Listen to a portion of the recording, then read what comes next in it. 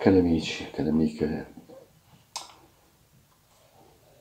il 26 gennaio 1955 Piero Calmandrei, come sappiamo, fece un bellissimo discorso profondo ai giovani sulla Costituzione. Eh, quella data, la stessa data è la data della mia nascita e quindi questo legame un po' affettivo e non solo me lo sono cullato, coltivato dentro Mm, proprio come anche un riferimento e come indicatori per, così, per valutare il tempo, mentre man mano che crescevo, poi rafforzato da un imperativo di Gesù che dice sapete quando piove, sapete capire quando c'è il sole, perché non valutate da voi stessi questo tempo e perché non giudicate da voi stessi ciò che è giusto. E quindi è importante avere consapevolezza e conoscenza, capire il senso delle cose, informarsi, essere dentro le, le, realtà interiori come le realtà sociali nelle relazioni, rafforzato poi da quel motto di Don Milani che è, come noi sappiamo, di eh, I care, mi importa, il contrario di quell'orribile motto fascista di qualche anno prima che invece diceva me ne frego. Vangelo e Costituzione sono state, lo sono le mie bussole, come lo sono state per uh, tanti preti, lo sono per tanti preti, eh, alcuni ne ho conosciuti eh, con grande amicizia, come Don Renzo Fanfani, e poi come Andrea, Don Andrea Gallo, che in un libro di sana e robusta Costituzione appunto dice che come partigiano e come soggetto eh, eh, dotato di una coscienza civile, la prima sua bussola è la Costituzione e come cristiano è il Vangelo. Quindi il 25 aprile, festa della liberazione e il primo maggio sono due appuntamenti che costringono i conti. È paradossale il tragico dover notare che ci, sono, che ci siamo armati fino ai denti contro il nemico che non sappiamo nemmeno qual è, mentre siamo colpiti da un moscerino che, come dice il dottor Tamino, è una reazione allo stato di stress che abbiamo causato al pianeta.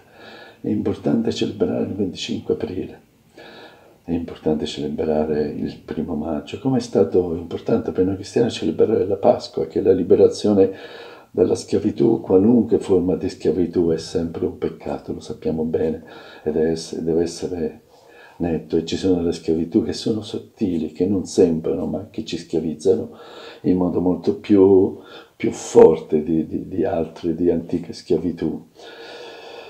Conoscenza, consapevolezza, indignazione, resistenza al sistema. Sì, un sistema in cui, come noi sappiamo, viviamo e dove il 10% della popolazione mondiale eh, consuma i beni del 90% dei beni prodotti dal mercato, creando per di più la gravissima crisi ambientale che già oggi uccide 8 milioni di persone all'anno. Eppure siamo ter- terrorizzati dal coronavirus, mentre questo sistema ne ammazza molte di più ogni anno, senza che questo ci disturbi. La crisi ecologica costruisce una minaccia alla stessa sopravvivenza, eppure i governi non riescono a, prendere, fare delle scelte forti, decise. Questo sistema è profondamente ingiusto e chiaramente può reggersi solo perché chi ha è armato fino ai denti, soprattutto con armi nucleari. Le armi nucleari proteggono i privilegi e i soprusi e gli sfruttamenti. Per capire l'importanza capitale delle armi per difendere questo sistema basta rileggere i dati delle spese militari. Nel 2019, l'anno scorso, a livello mondiale abbiamo speso 1822 mila eh, miliardi di dollari, pari a circa 5 miliardi di dollari al giorno.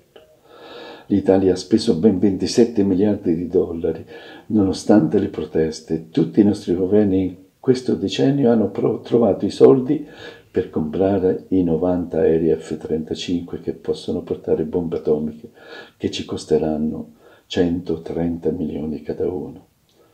Ed ora in piena crisi di coronavirus, con la chiusura di fabbriche non essenziali, come le ha definite il governo, il governo decide che il settore militare è strategico e quindi i lavoratori delle fabbriche d'armi devono continuare a produrre.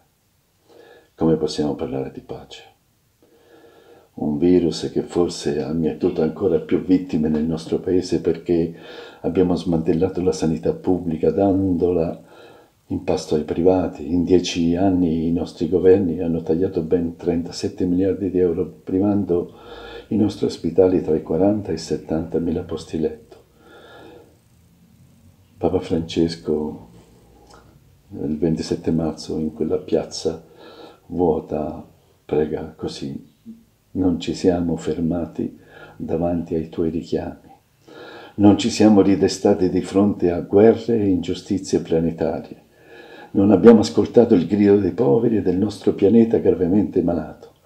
Abbiamo proseguito imperterriti, pensando di rimanere sani in un mondo malato.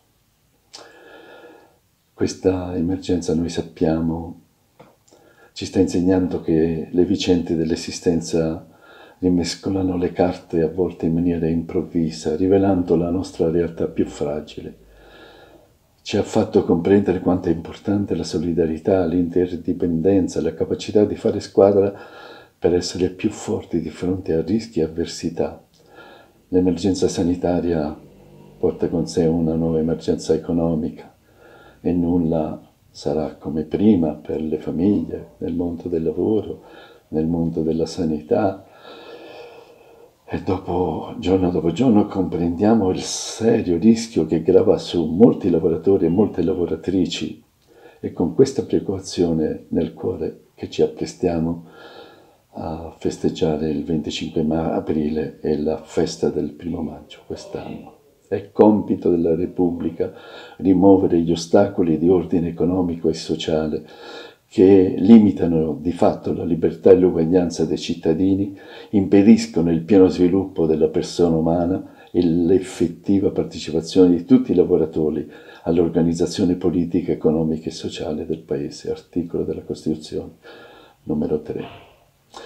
Vorrei concludere eh, richiamandomi a una lettera che, che mm, eh, Milano scrisse ai, ai cappellani, cappellani militari per questa questione di italiani, stranieri, queste distinzioni che, che, sono veramente nocive di mettere i poveri contro uno contro l'altro. Se voi avete diritto di dividere il mondo in italiani e stranieri, allora vi dirò che nel vostro senso io non ho patria e reclamo il diritto di dividere il mondo in diseredati e oppressi da un lato, privilegiati e oppressori dall'altro.